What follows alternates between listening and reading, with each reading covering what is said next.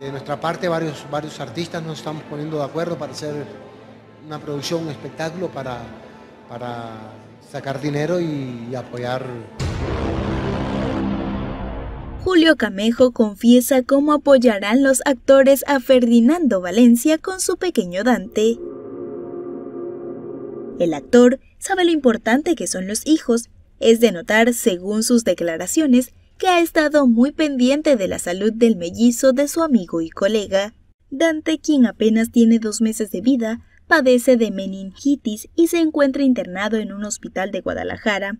Como se sabe, Ferdinando confesó entre lágrimas que el menor ha empeorado, pues presenta hidrocefalia, un derrame en el cerebro, problemas cardíacos con insuficiencia para abastecer de oxígeno y sangre, fallas en los riñones y una neumonía. Julio Camejo admitió que esta situación se trata de un momento muy complicado, sobre todo emocionalmente, pero también es una angustia económica, pues considera que solo quienes han tenido a un familiar internado saben cómo se siente. Un momento complicado, un momento complicado emocional porque es un hijo, ¿no? Y es lo más grande que uno tiene. Y sobre todo, quiero suponer que económico, porque aquellos que hemos tenido algún familiar en un hospital, sabemos lo que es, ¿eh? Hace unos días se dio a conocer que los gastos médicos del niño rebasaban hasta ahora los 5 millones de pesos, por lo que varios compañeros y amigos han decidido apoyar a Valencia de una manera especificó que buscarán la forma de crear un espectáculo interesante para el público y que genere ingresos para colaborar con el pequeño Dante. De nuestra parte, varios, varios artistas nos estamos poniendo de acuerdo para hacer una producción, un espectáculo para, para sacar dinero y, apoyar, apoyar a Ferdi. Somos un grupo, un grupo, estamos allá, la, digo, de los que...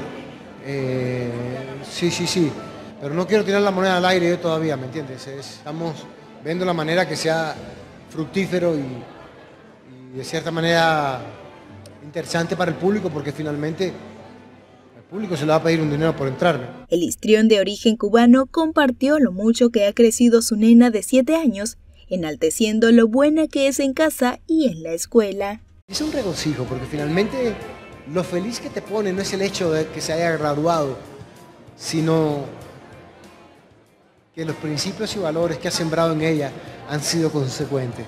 Se levanta temprano, hace sus tareas, lee su libro antes de dormir. Entonces, tiene buenas evaluaciones, pero por eso, porque ha sido capaz de, entender el rollo que, que papá y mamá han tratado de sembrar en ella.